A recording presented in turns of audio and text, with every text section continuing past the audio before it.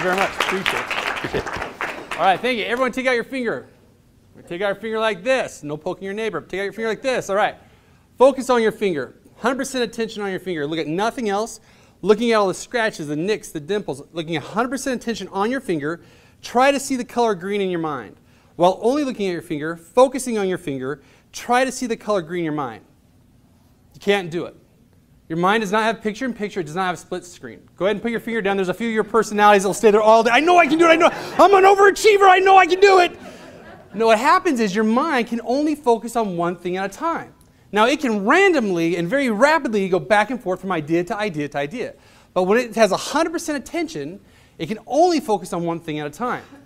James Allen, in his epic book As Man Thinketh, said, Let a man radically alter his thoughts and he'll be astonished at the rapid transformation of the material conditions of his life. Men think that thoughts can be kept secret. They cannot. They rapidly crystallize into habit, and habit solidifies into circumstance. We are where we are by the thoughts that we hold in our mind, the ones that we focus on the most. Let me illustrate that with a story. Two friends go for a drive. One's, one's name is uh, Walter, other's Arthur. They go on this dirt, dusty road, and Walter's kind of your visionary friend. You know, we all have those guys who think real big or gals who think real big and always want to bring you along on some crazy adventure. So they're out here. There's some jackrabbits and some orange trees, and that's about it. A few horses. And Walter says, You know what? I bought all this land right here, and I'm going to build my dream. I've mortgaged everything I got. I'm going to build my dream right here. I want you to buy all the surrounding land, and it's going to double in a year. How many of us have a friend, friends like that? You know, I got this great idea, just come along, or hey, I got my friend. If you get your 10 friends and your 16 friends, it wasn't one of those. But he had this thought, and he said, I've got this vision, this one thought, but I want you to participate. You know, and Arthur was a good friend and encouraged him. I love your dreams, I love your passions. You've had some successes, some failures, but congratulations. Now it's just not a good time. I just can't afford to do it. Oh, no, you got to do it. You got to do it right now. There's not going to be a better time. I just, right now is not a good time. I, I appreciate it, but, you know, I encourage you, you rah, rah, rah, you keep going.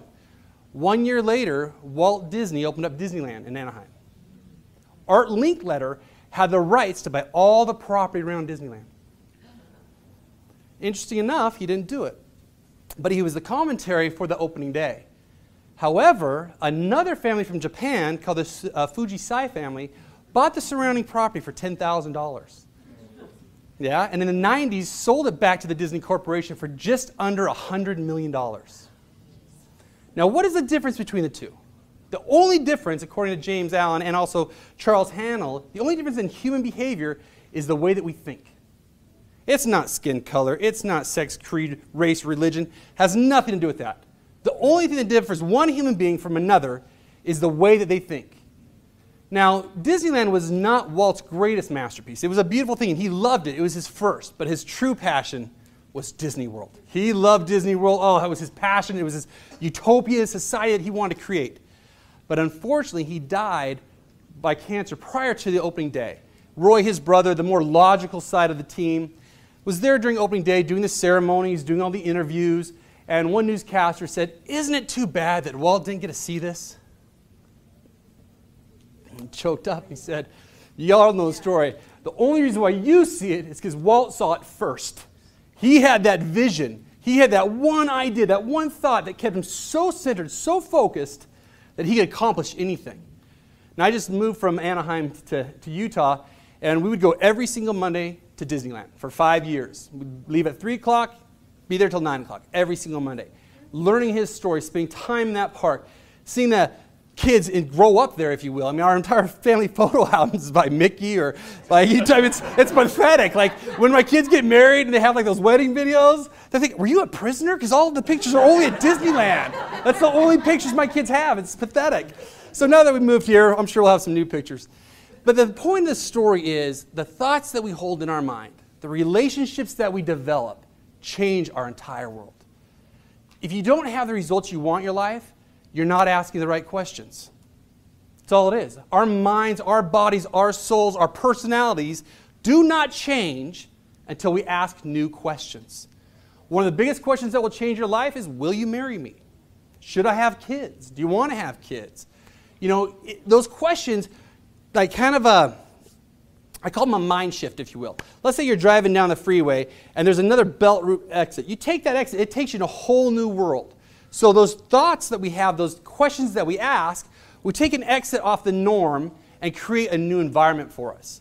So I've got two beautiful boys and a little girl, and we do what's called Daddy's Date. And so we go on once a week. So I take my two boys and I said, Where do you guys want to go? And this is when we were living in California.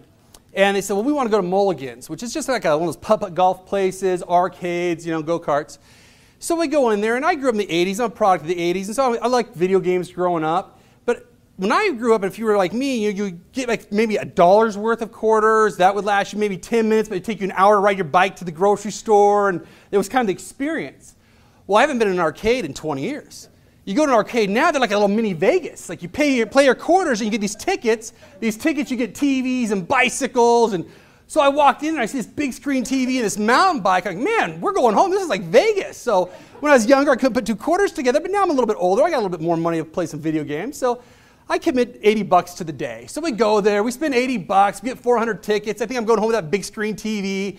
You walk in there with those 400 tickets, and you get like the green army man, the Hubba Bubba stick of gum, and like the inflatable ball. And now I'm pissed. I'm like, 80 bucks, I could go to the dollar store and gone to like town. And my boy's like, Dad, that was so fun. Now that I can't afford this. This is a waste of my time. So we go home. Next week, Dad, Dad, can we go back? And now I'm thinking, no, no, we can't. This is a waste of money. You know, it was good once, bad idea second time. So I grabbed my wife. I said, you know what, sweetheart, come with me. I want to try an experiment. So she goes in with the kids. I'm standing there kind of looking around, seeing, kind of get a lay of the land. And I see this teenager walking by who works there. And I said, which game spits out the most tickets? Without even flinching, he says, Well, that's a spinning wheel, of course. I'm like, Take me to it. I want to see it. So the spinning wheel is a round dish with numbers on it. You drop your quarter in, dish goes down, hits, goes to the outside. Whatever your quarter sits on, that's the number of tokens you get. So now here's the secret. You put five in, and you take up a section of the dish. I'm like, 20 bucks later, I take up the entire dish. I go home with 1,800 tickets. So I'm like stuffing in my pocket. My, I go up to my kids, like, Dad, Dad, you won the lottery. And now we get like four army men, like six sticks of gum, and I, I'm done. I'm like, there's no way we're going back. And honestly, we haven't gone back since. So what I realized though is if you want a different result, you have to ask a different question. I wasn't asking the right questions to get the right amount of tickets the first time. The second time, I asked the right question, got the result I wanted. So take a second, and I want you to ponder. I'm going to take a pause here what questions are you not asking about your business that you need to be asking? So let's take two or three minutes. Just ponder for a second. What questions are you not asking for your business, your personal life, or your relationships? What questions are you not asking for your personal life, your relationships, or your business? All right, how many of you, keep writing if you don't just kind of ignore me if you're in the, in the moment of a brilliant thought, but for the rest of you, how many of you have seen uh, or heard of those overnight success stories? But I always call them like the 10 year overnight success stories. They busted they worked hard, things were crazy, and then all of a sudden they have that overnight success. What's that difference, that gap, if you will? In fact, draw a straight line, then right, draw two diagonal lines, and then a straight line going straight up. So there's a gap, because there's a word I'm going to have you right in the middle of that gap. So straight line going across, a line, a line, shooting up. In the center of that gap write the word relationships. I've read over a thousand biographies. I've interviewed over 2,500 people. I have been fascinated with how people overcome their challenges and obstacles since I was a kid. I dropped out of high school at 16. I was a millionaire at 26 and broke at 27. Then, a couple years later, through real estate and investments, I made it all back. But I realized my story was not original. There are countless stories of people who made it, lost it, people who didn't have an education, who didn't have resources, who went on to become household names. How did they do it? It wasn't where they were from, it wasn't their parents, it wasn't their sex, race, religion, creed, none of that. It was the relationships that they formed. You are where you are today by your relationships, by your thoughts, and by your relationships. You are exactly where you are today. In fact, let me ask you this How many of you are in the profession you are in because of either a mentor, a friend, a parent's you know, friend growing up? Show of hands. Let's see how many of you are in the profession you are in because of a relationship of some sort. Maybe a friend took you to college, maybe they inspired you to get in the profession you're in. Almost all of you. We are where we are based off our relationships. There's two types of relationships there's relationships to riches, and there's relationships to ruin. If you look at the word riches, I like to define words, I like to look them up in the dictionary. Riches is defined as resources. So it's relationships to resources. Relationships to ruin are the ones that take you down. There's one question, absolutely one question that will rock your world more than any other question. I said, let me rephrase that. There's one question that will rock your business more than any other question I know.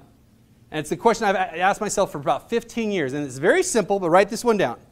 What is the craziest thing I can do for my business today? Now that sounds kind of silly, but what is the craziest thing I can do for my business? What's the craziest, most bizarre thing you could positively do for your business? I had this idea one day. I was sitting in my office. You know, I've done the books and I did all these other things. I thought, I've never made a movie. Now I'm a high school dropout and a college dropout. I've dropped out of everything in my life except my marriage. So I am professional at dropping out. But I thought, I've never done a movie. I want to do a movie. So I sat there and figured, well, how do you do a movie? So I Googled, how do you do a movie? And I started reading and learning. I found that when you do a movie, you need what's called B roll. So when you watch a movie, you've got that aerial shot of New York or they got the sunset by the beach. That's called B roll. It's kind of a filler, if you will, between your content. So there are companies in the industry that film that for you, but they're very expensive. You know, this is back in, eight, in 2008. A 20 second shot HD ran anywhere from $600 to $900. Well, to do this movie I wanted, there's about 200 shots of B roll I needed.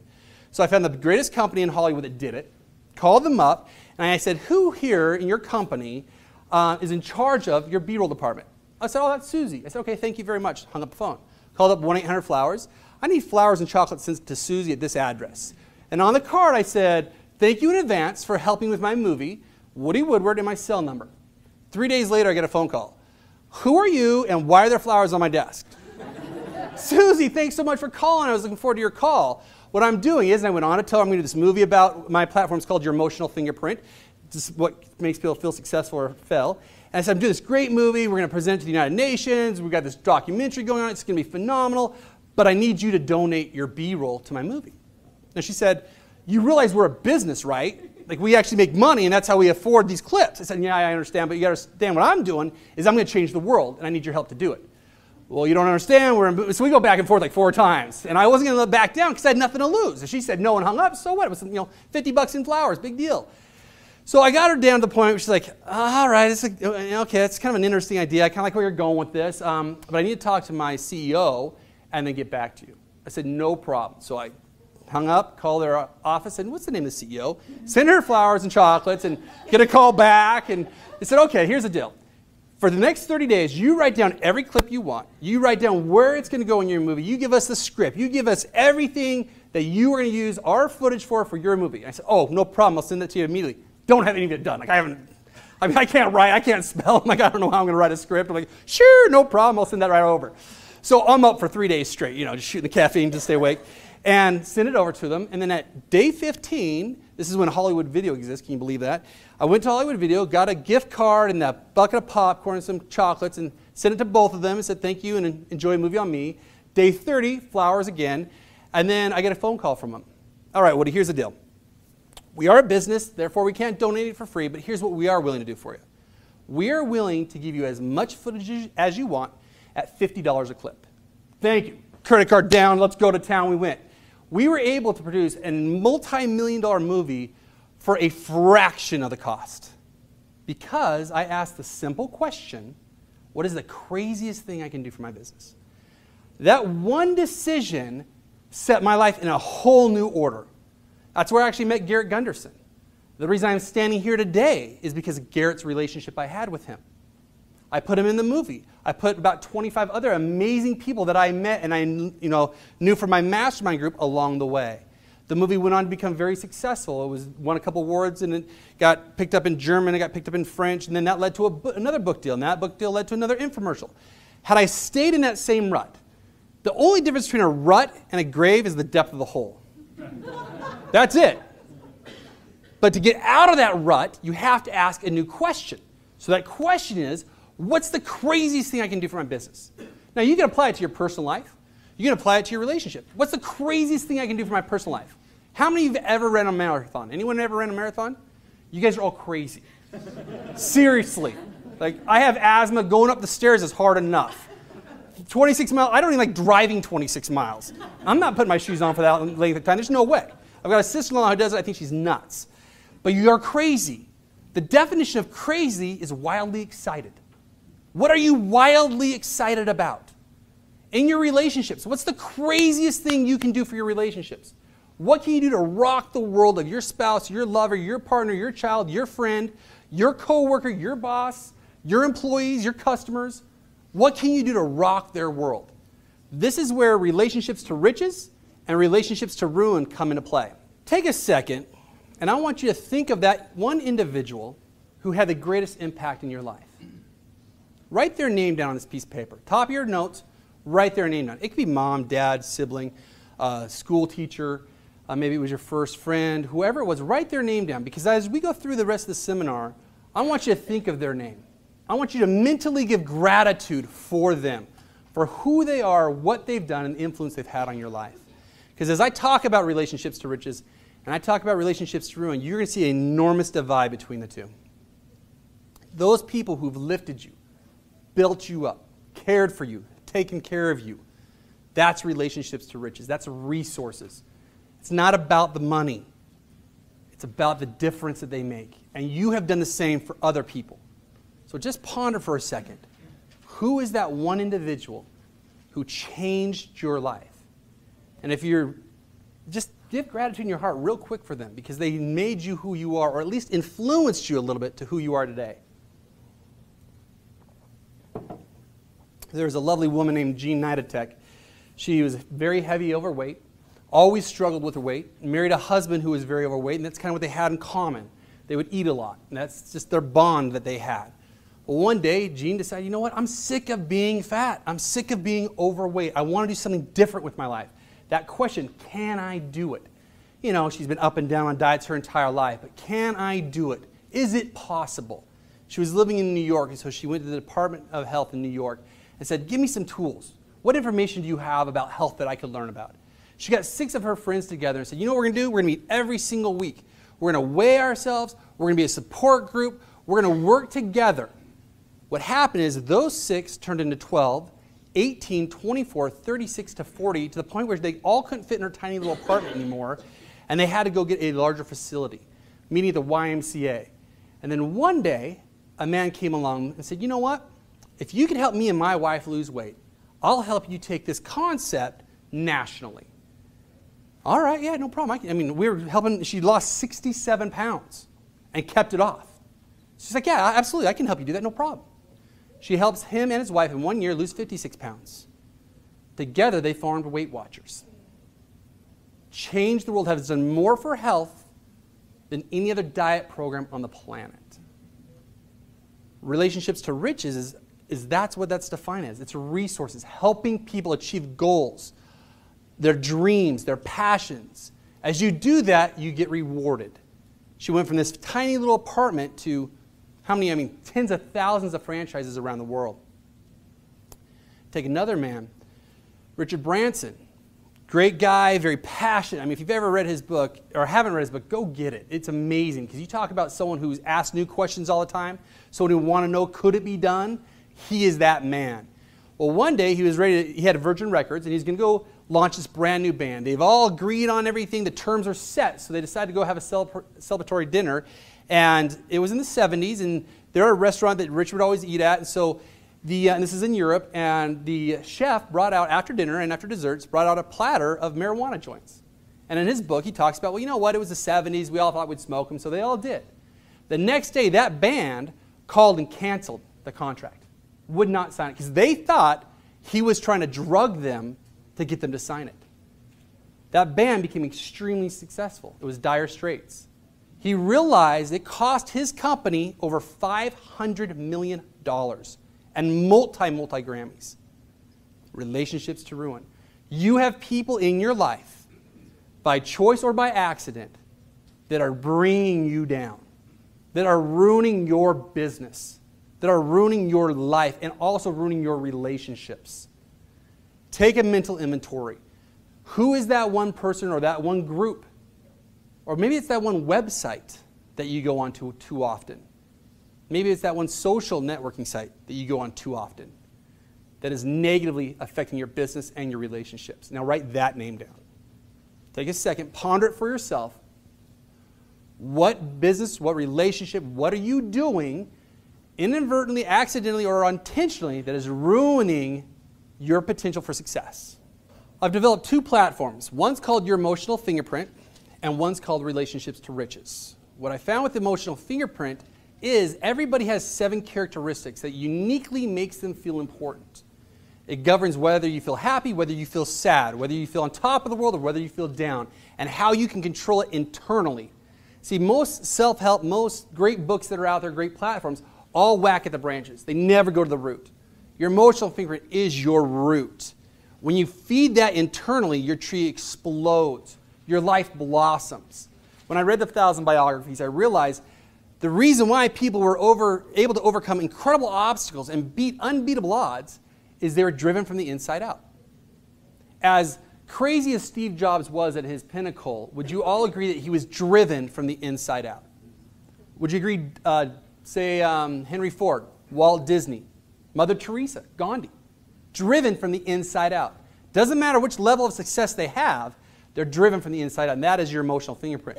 If you want more information on that, you can go to nomortherapy.com. I don't believe in therapy, I believe in strategy.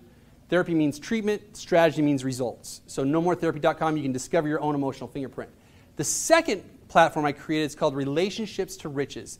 And in that process, I found there are five currencies. Everybody has five currencies. So, write these down because we're going to talk about them. You have a mental currency, emotional currency, physical currency, spiritual currency, financial currency. So, mental, emotional, physical, spiritual, financial. The way I discovered this is I had a client come to my house. I charged a ridiculous amount of money for one on one coaching. And he, this gentleman has coached with me. He comes to my house. He's like, Woody, I'm so furious. He had made a fortune in the real estate market in California. And in 2008, 2009, he's losing everything. Just can't stand it. He's like, I'm depressed, I'm worried. And so we talked about his emotional fingerprint. We talked about validating internally. And he had no hope. Have you ever been in that moment where you have no hope? You're exhausted. I mean, if, you if you've lived longer than 10 years, you've had a moment like that. And he was at that pinnacle part. And I said, okay, what do you have? Well, he's a good looking, meaning he had a physical currency. He could stand up, he could walk, he wasn't disabled, he had a physical currency. And he had a phenomenal mental currency. Wicked smart, just sharp, bright, could do things just could deliver a message to the masses. Within less than 30 days, we helped him and showed him how he could take that currency and exchange it in the marketplace to create a revenue source for he and his family. And in less than 30 days, he went from zero to $40,000 a month. If you look at the word currency, currency means to exchange. That's all currency is. It does not take money to make money, it takes currency. You need to exchange something to get something. So there's five steps I'm going to walk you through. So step one is to rate your currency. Of those five currencies, what is your strongest currency? What do you have the most of? So is it mental? Is it emotional? Is it spiritual, physical, or financial? My background is in emotional. I've studied and I've interviewed and I've walked people through amazing tragedies in their life. So my strongest currency is emotional. Well, what do I do with that? I exchange that for a living. I write books, I do movies, I do talks, I do seminars. So it doesn't matter which your currency is, you can exchange it for whatever you want. Step two is what is your why? What is your why? You can endure any amount of how if you know your why.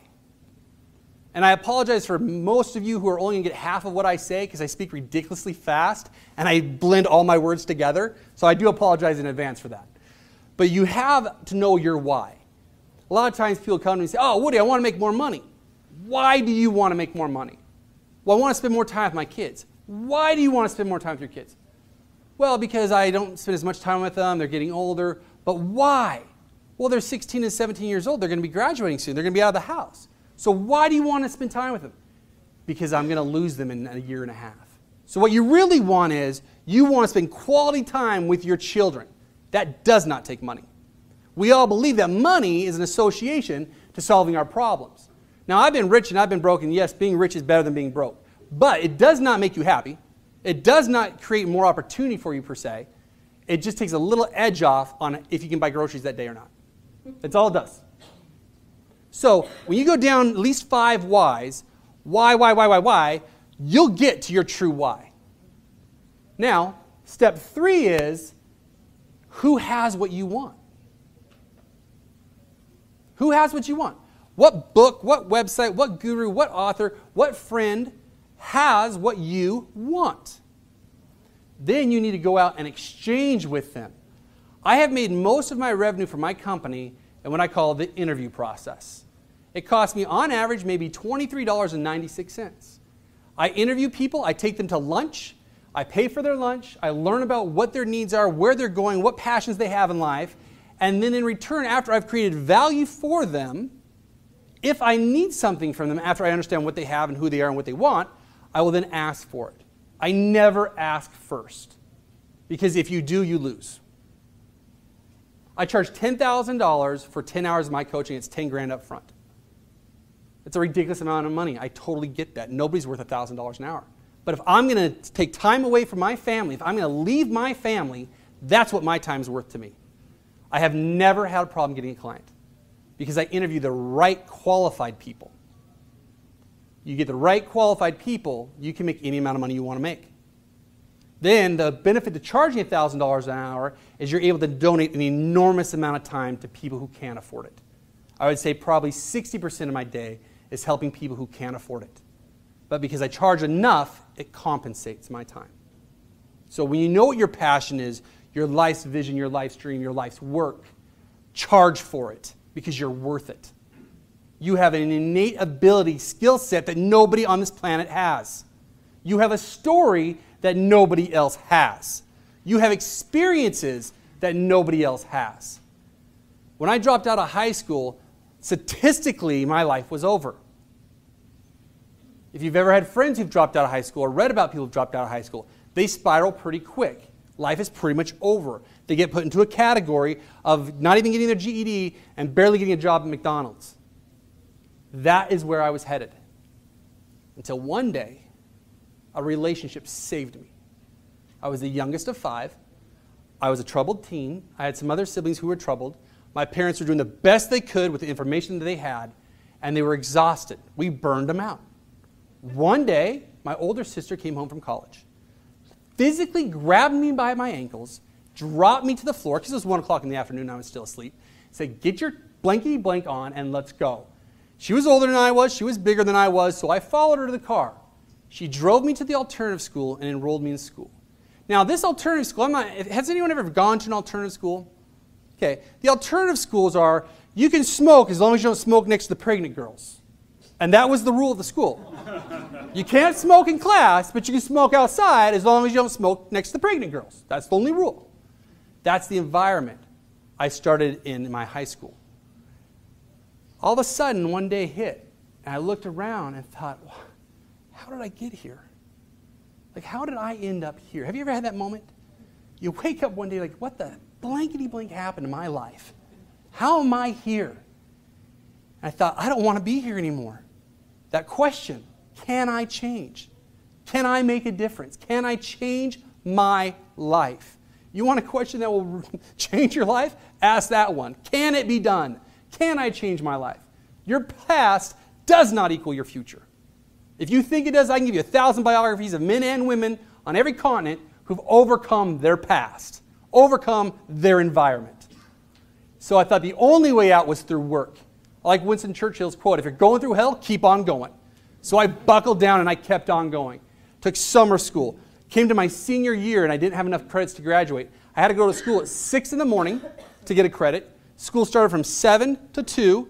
I had to go to night school from 2 to 5, and I had to work from 5 to 9.30 to get a work credit. It got to the point where I was so exhausted that my mom was helping me with my homework. And I'll never forget our Ben Franklin uh, report. I turned it in in her handwriting. I was so exhausted, I could not transcribe it. And so my teacher wrote A on it and said, either tell your mom or your girlfriend she did a good job. and I passed that English class. And it came down about 30 days before graduation was over. Or I'm sorry, before graduation started. And we're sitting on this bench. I'll never forget 12 of us. I grew up in the same house my entire life.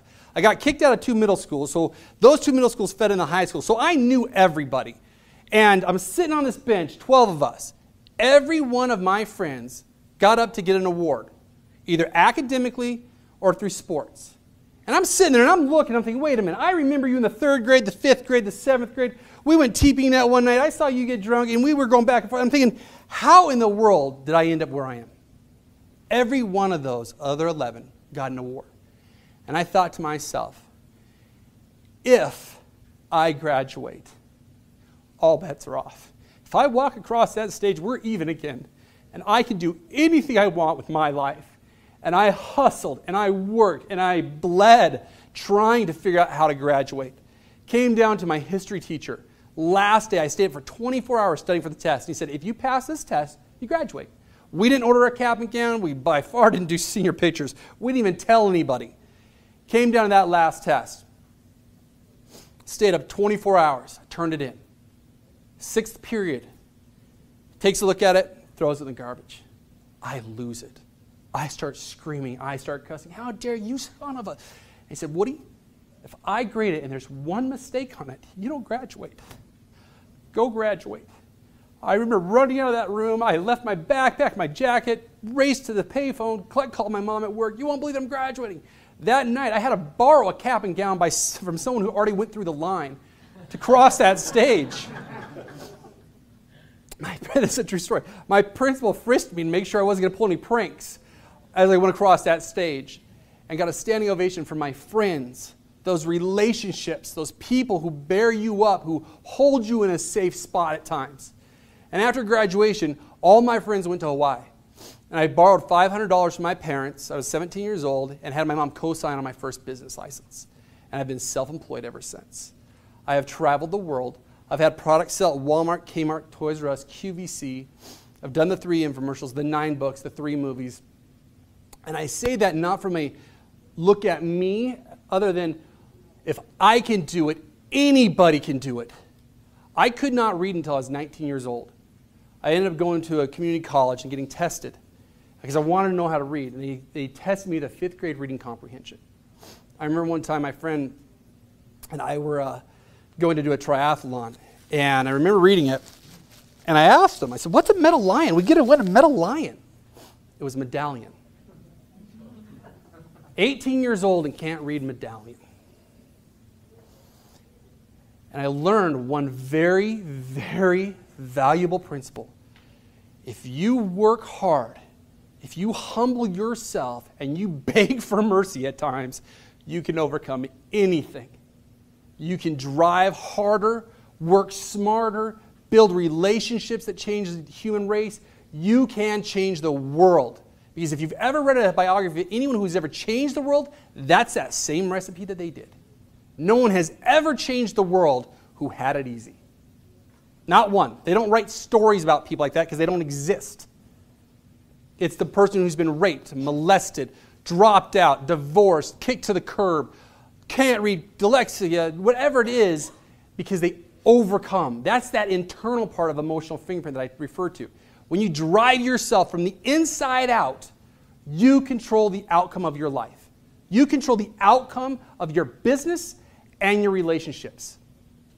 When I had graduated, there was a man, I, have always believed in volunteering, I've always believed in giving back. So I decided to volunteer at a local uh, scout troop. And I met this man who was one of my first mentors. How many of you have ever had a mentor in your life? How many of you have ever been a mentor to somebody else? Best feeling on the planet, to be able to give back. He was my first mentor. I remember he pulled up one day in a 300 CX. I'm like, oh my gosh, what an amazing car. I said, will you take me for a drive? He said, no, I won't take you for a drive, but I'll let you drive it. Threw me the keys, and he got in the passenger seat. Now, I was irresponsible. I'm driving 130 miles an hour. I didn't even think to ask him if I could, but I just want to see how fast that car could go. and I was like, Woo! I'm down I 5. We're racing to Canada. We're missing exits. He's like, you know, we got to turn around and get back to the scout troop. I didn't even care. I'm going to Canada. We're flying. So we turned around. But what happened was, is he helped me get my first t-shirts to design and to sell. And I don't know if you guys have ever seen the, the clothing store Zumiez. But they started in my hometown. I sold my first idea to Zumiez when they only had six stores. And I didn't even know what a PO was. He's like, Yeah, you got a PO? I'm like, uh, I don't have a PO. He's like, no, a PO, purchase order. I, mean, I don't even know what that is.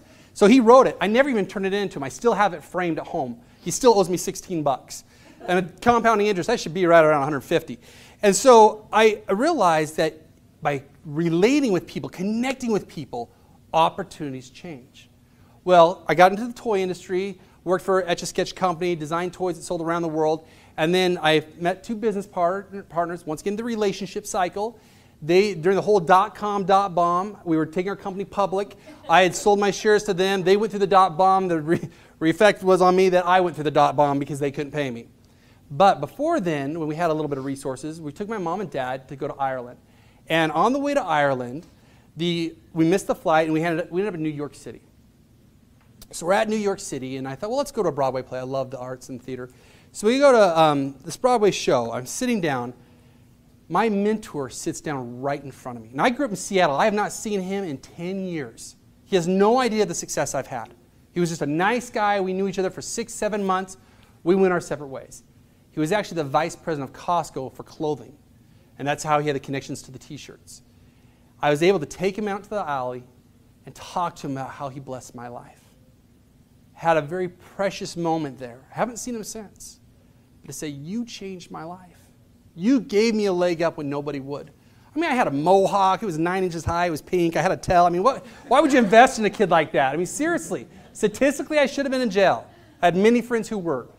And he stepped in. That one intervention, that one relationship changed my life. From there, I can't even count how many people have changed my life, those relationships. I was actually in Denver last night. And uh,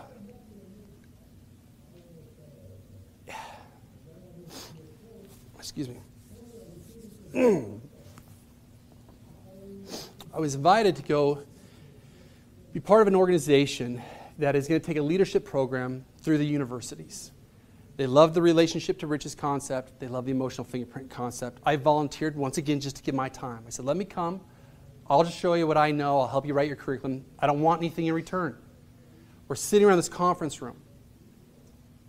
And I'd stayed up the night before with two women and walked them through their emotional fingerprint. It changed the way that they saw their kids, their spouse, their businesses, their grandkids.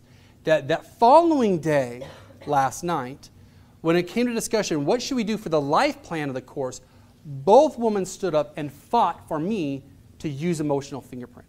I didn't say a single word because their lives had been changed. They were investing in my concepts and ideas. Now, we start our pilot session in January. It's being accredited by Harvard, it's being accredited by local universities. High school dropout can't read, creates an information, is now being taught at a university. Never would have happened without relationships. I am just not that cool. I'm not. But because you invest in other people, because you give back, because you share who you are. See, your stories and your experiences are not for you alone. Your stories, your life experience is to give to the world. Let me ask you this my personal story that I just shared with you, did it touch you or move you in any way, shape, or form? And I don't see that, say that from an egotistical standpoint. I say that as proof that when you share, other people's lives change. So when it comes to relationships to riches, step three, when you interview other people, when you build value for them, and then in return ask them what you can do for them, you're putting emotional deposits into their account. When you need a withdrawal, you can make that phone call. Step four is the exchange rate. There are, yes, question. Yeah, let me go through one, two, three again. So we went on uh, side note. So step one is rate your currency. What is your most dominant currency? Rate them one through five.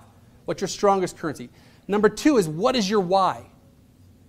Go down five steps. Why, why, why? Why do you want that? Why are you in the profession you're in? Why are you married? Why are you a grandparent? Why are you a parent? Why, why, why? Step three is the, I call it, you know, who has what you want theory. I mean, who has it, go get it. You know, if you want, if you want wood, go to Home Depot. If you want a book, go to Barnes and Noble. If you need money, go to a bank or a VC. Find whoever has what you want. Step four is the exchange rate. there are three principles to the exchange rate. Principle one no one currency is more valuable than another. Okay? Financial currency is not more valuable than physical currency. If you're a billionaire on your deathbed, you'd give everything you have for that physical currency. Step two any one currency can be exchanged for another currency. You can exchange emotional currency for a spiritual currency, for a mental currency, for a financial currency. Step three any one currency can be exchanged for whatever it is you want. Doesn't take money to make money. Oh, thank you. Thank you for slowing me down. Appreciate that. Yeah. So, step three is you can exchange any currency you have for whatever it is you want. So, I'll go through again. Number one is no one currency is more valuable than another. Step two is you can exchange any one currency for another currency. And step uh, three is you can exchange any one currency for whatever it is you want. So after you've interviewed somebody and they, they tell you what they want, look at your strongest currency. Can you help them achieve that goal? Can you help them get what they want with your currency? If you can, it's a win win. Then the conversation starts well, what can I do for you? How can I help you? By doing that, you are then able to create massive currency exchange and value. And step five, or principle five, is compound interest. Albert Einstein was asked, What is the greatest power in the universe? And he said, Compound interest. Compound interest is taking $1,000, investing it, getting $150 on top of that, taking that 1000 that 150 and reinvesting it again and again. So you're compounding your principal and your interest. So look at your five currencies. Where are you the weakest in it? Is it emotional currency? Is it spiritual currency?